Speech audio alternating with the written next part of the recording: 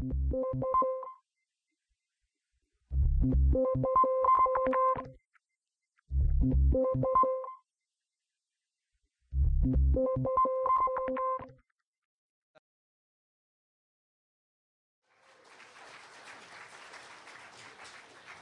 are just about set to go with our next presentation.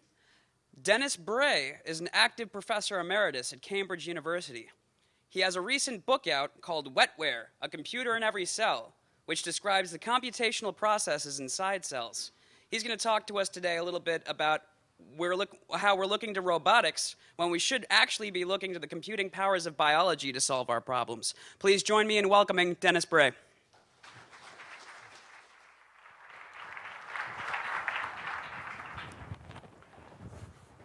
Thank you. Is this on now? Yeah.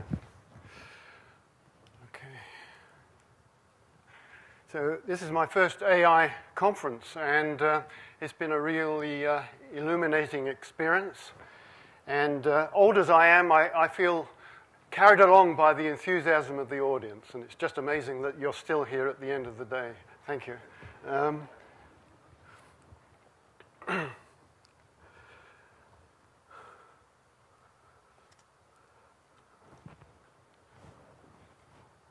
Is the projector on?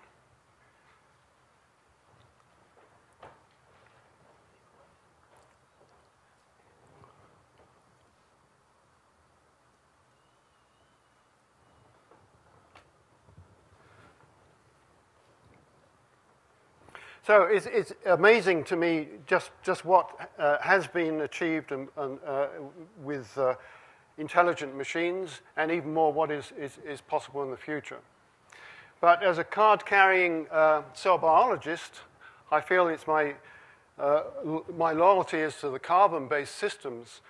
And uh, I have to point out that uh, amazingly, uh, although the future is, is, is incredibly attractive, that um, artificial mach machines still uh, can't do everything. So ro robots are, are, are, very efficient at performing um, well-defined tasks, um, but uh, in, in a real-world situation, they're far less effective. So, for example, even something as simple as, as reaching out to a bottle of milk and pouring it into a cup is a real challenge for a robot. And things like um, asking a robot to play a good game of tennis or to cook a meal from scratch. And in particular, things such as read a, a newspaper and understand what it says are beyond the reach of present day robots. And this is, a, this is a, a, puzzle, really, because for the last 50 years, people have been predicting that our world would be populated by sentient robots that would be essentially interacting with humans uh, almost as equals. So the question is, what, what's, got, what's gone wrong? Why aren't we much further along in the development than we are? so I, would like to suggest that there are two reasons. One is that we actually don't understand how the humans perform these tasks.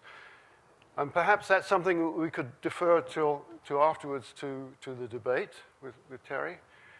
But the second thing that uh, I'd like to uh, talk about just in the next 15 minutes is that it seems to me that the, the hardware that's employed in, in constructing uh, intelligent machines, robots, is not up to the task that it's been set. Let me explain what I mean. So, um, living cells are, I lost my pointer. Have a, a pointer there, please? Thank you. Living, living cells are uh, very small chambers, membrane-enclosed chambers containing a highly complicated uh, bag of chemicals. So this is a bacterium, E. coli. It's about two microns long. Uh, and it's got a, a, lipid membrane, and within the li lipid membrane, there's a, a, a, very complicated mixture of chemicals, including DNA, the green. But the, a large part of the uh, contents are uh, proteins. Proteins uh, make the flagella by which the, the bacterium swims. Uh, they form the uh, receptors that are inserted in the membrane uh, by which it senses its environment, and everything in between in, involving the swimming, the sensing, and also the metabolism and the division, proteins play a major part. And just to give you some parameters, uh, E. coli contains about 10 to the 9 protein molecules. And these are made from a set of uh, just over 4,300 genes. The number is known rather precisely, although strangely enough, not, not all the functions of the proteins are, are completely understood. By contrast, the cells in your body uh, each one is about 1,000 times larger in volume and in content, so they have about 10 to the 12th protein molecules. The number of genes is much larger, but perhaps not as large as you might expect. Certainly, it was a su surprise to find when the Human Genome Project was finished that it's, it's of the order of 25,000. And uh, something I, I, I, hope to return to uh, later in fact, less than a 2% of the human genome actually uh, encodes the protein. So a, a, large proportion of the DNA is, is doing something else. Proteins, as I'm sure you know, are uh, made in the cell as a, a, linear chain of amino acids, which are, the sequence of which has been selected by evolution so that they fold up in, into a precise shape. And this this molecule has a surface lattice of atoms which have been selected by evolution so that they have binding sites to which uh, particular other molecules bind and uh, selectively uh, uh recognized by the protein. So this, this simple enzyme hexokinase has a binding site on its surface for glucose and ATP it binds these two in close proximity and in such a uh, configuration that a reaction between the two is, is promoted. Everything happens very fast at the molecular level, so in the cell, hexokinase is diffusing around, encountering glucose and ATP, and spitting out the product, which is phosphorylated glucose. So you can think of it as a pipeline, a chemical pipeline that's taking in uh, glucose and spitting out glucose phosphate, and of course the rate uh, varies with the uh, concentrations of starting material. Another feature of the protein is that uh, it, it, uh, almost all proteins have more than one binding site, and uh, they have regulatory sites to which other molecules can bind and uh, either activate or inhibit the process of the enzyme.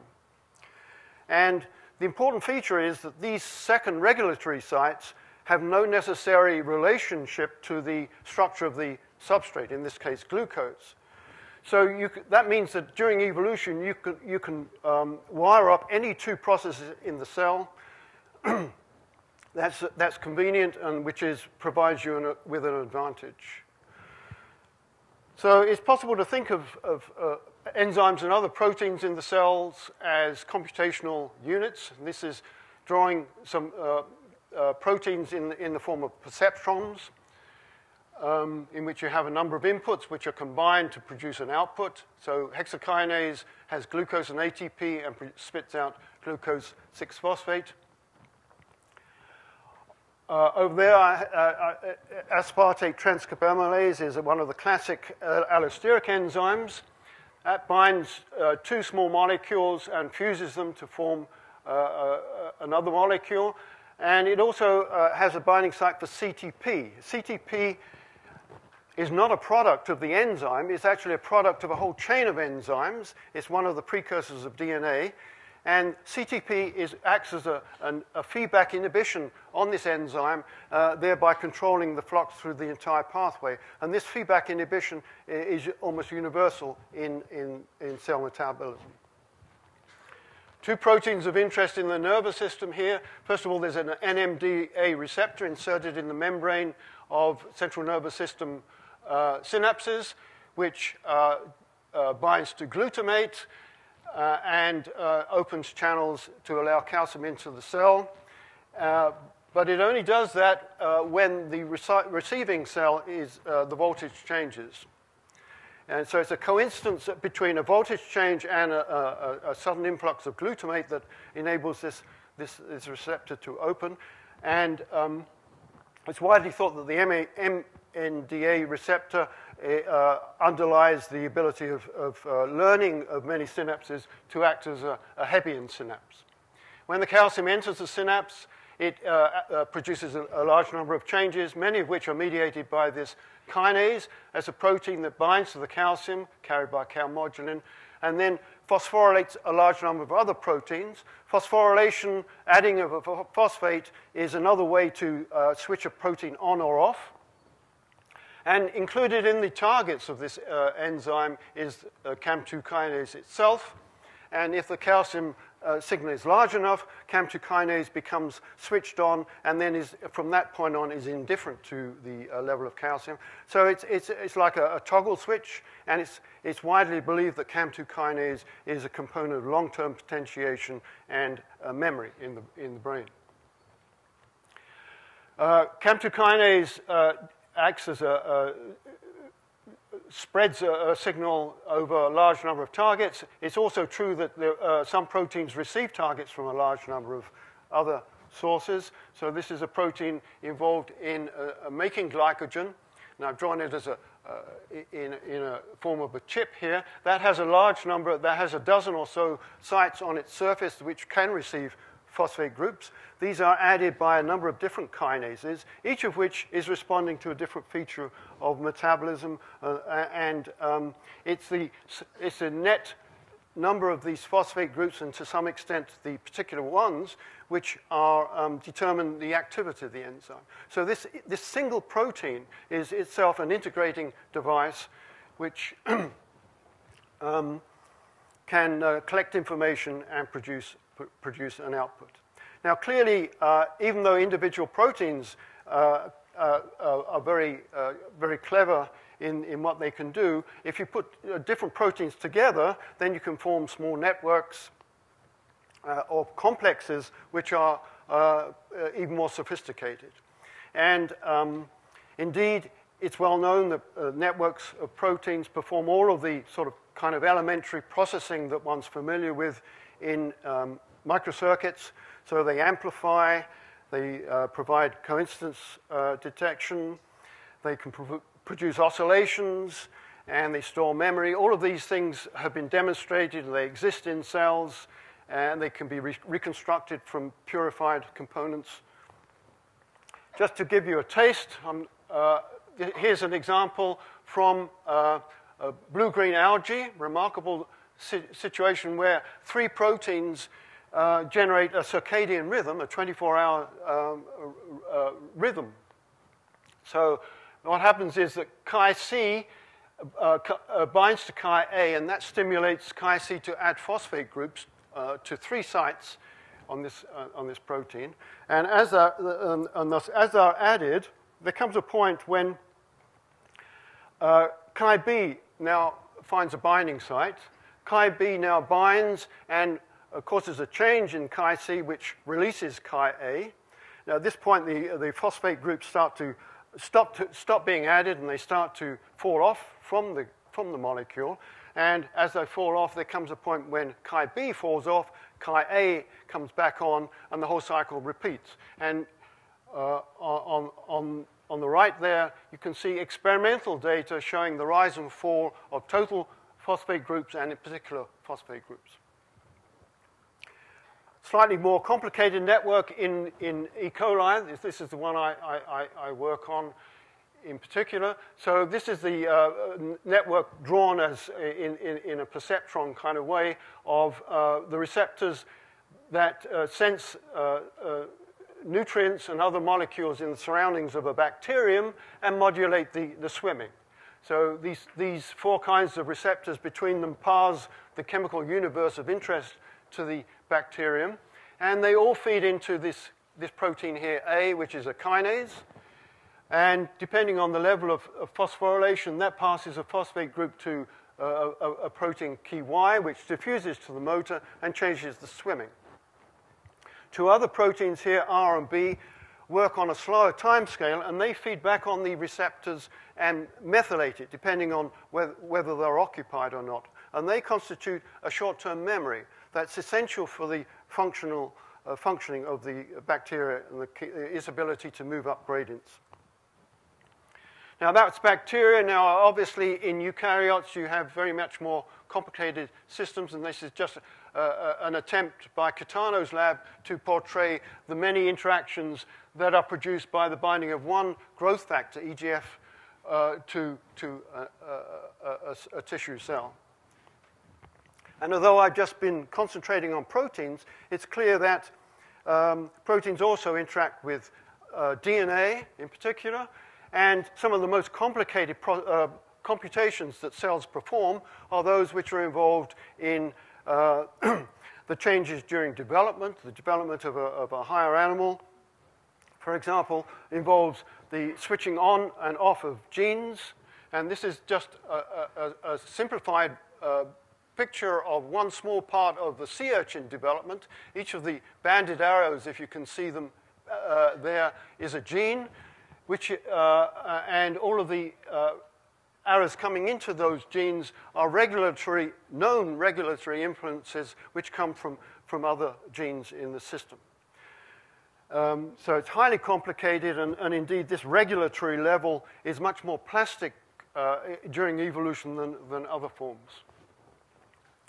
Okay, so uh, I hope this sort of very quick description is enough to convince you that living cells contain uh, large numbers of uh, what one can, think of as computational elements, and certainly if one can, uh, can transfer from chemical, trans, uh, chemical transformations to to the analogous uh, events in a, in a microcircuit which involves the flow of electrons.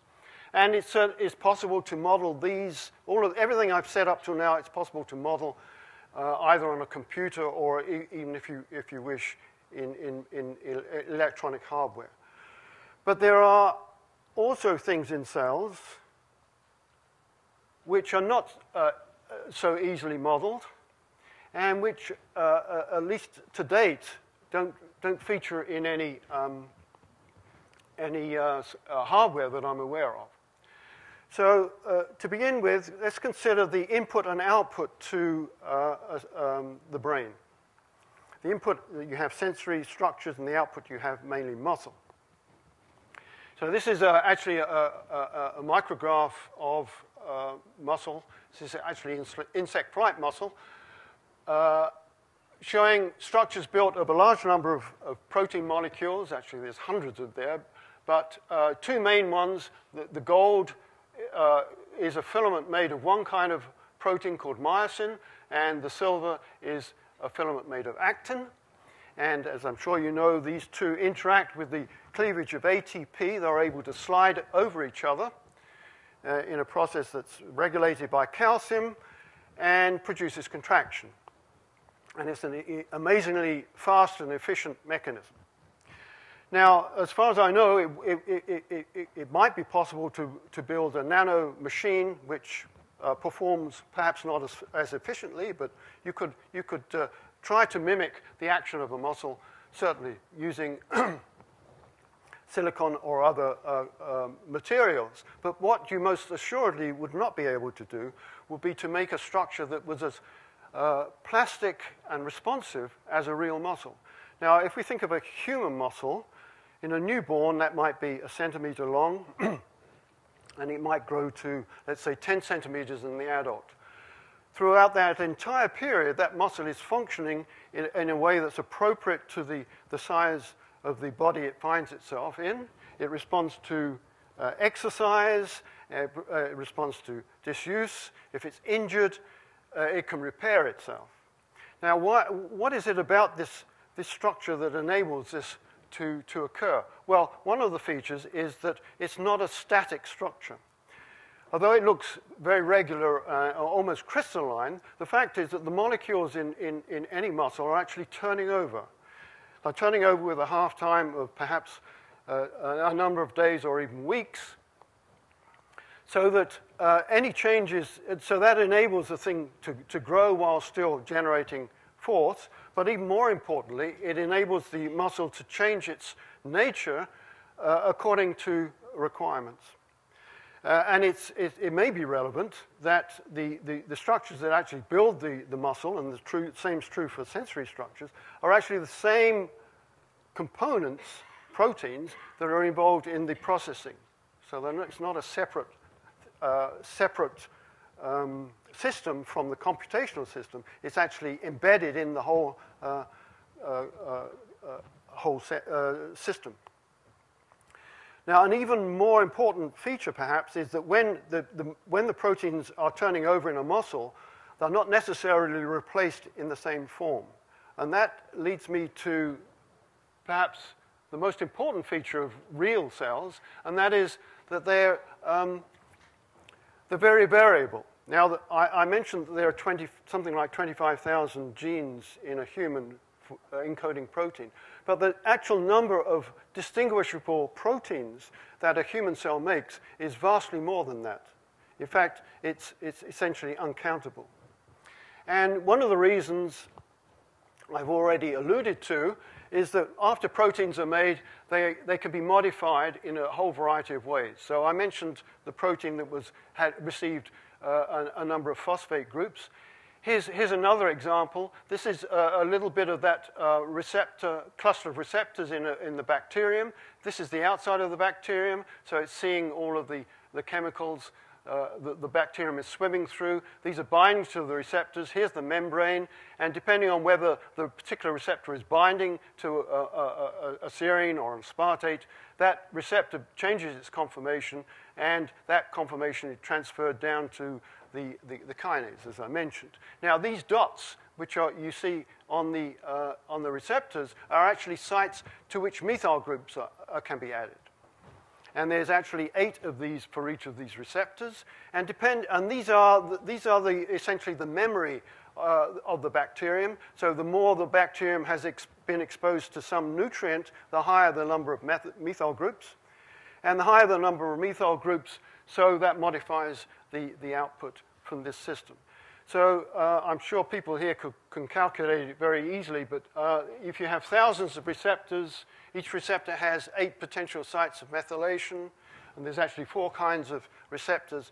If you, if you, if you go through the combinatorics, you'll, you'll see that the, the, the number of states of this small cluster of receptors is astronomical. Now, clearly, not all of them are important. Uh, much of this is just purely chemical noise, but some of it, most assuredly, is important. And, uh, uh, and if any particular combination of methylation states uh, occurred, uh, was correlated with some important event in the life of the bacterium, we can be sure that it would make use of this. And uh, in parentheses, I add that I'd like to add that the, uh, the, the, size of the receptor cluster in a, in, a recept in a bacterium is not that different to a synaptic plaque in a central nervous system synapse. Okay, so you have post-translational modification changing proteins, but even more fundamentally, you have uh, uh, the fact that in eukaryotic cells, each protein is not made from a single gene, but from a, a number of segments of genes, which are, have to be put together to make a, an RNA before the protein is made. And uh, in, in, in, all, in, most cases, there are, there are multiple, okay, multiple segments which can be uh, combined in different ways, and this leads to large numbers of different products.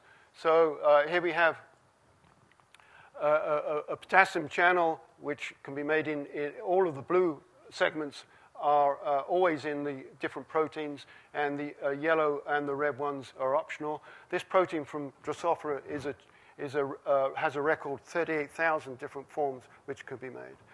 So uh, I guess I'm, I'm, running out of time, but let me just, just point out that in the, uh, the, the, the, this, this high, highly variable nature of proteins is, is really manifest most, most clearly in the immune system, our human, human immune system, which can make something like um, a thousand trillion, I think it is, different antibodies. And it's, it's achieved by uh, individual cells making different antibodies by this process of, of uh, genes, uh, alternate RNA splicing. And then any, any that by chance recognize an antigen are then promoted, stimulated to divide, so you make large numbers of that particular uh, antibody. And there's, there's another refinement, which is hypermutation in these genes, which, again, which is uh, by a sort of uh, like an evolution in, is, is, is uh, uh highly high affinity uh, binding is selected. Okay, so just to my last slide, this is not a counsel of despair. I'm not saying that this, these, these, these, uh, these processes cannot be modeled. I'm sure they will be. Uh, and it seems to me that it would be a good idea to try and build hardware that incorporates some of these features. And so for that, with that in mind, I, I put down a, a, a, just a few um, points that one might consider. First of all, you need a, system of computational elements li linking them into cir circuits. That's, that's pretty basic. Then uh, another feature of, of uh, real cells is that connections are not just local, but uh, can be essentially any, between any two components in the cell through diffusion and molecular recognition.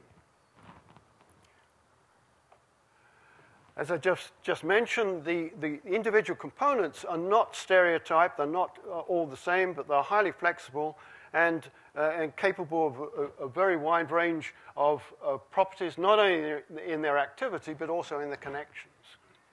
Input and output are, are achieved by highly plastic structures built from the same elements that are used for the computation. And then finally, the network must undergo continual stochastic change, and variance must be then selected according to the performance. Okay, I'll finish there.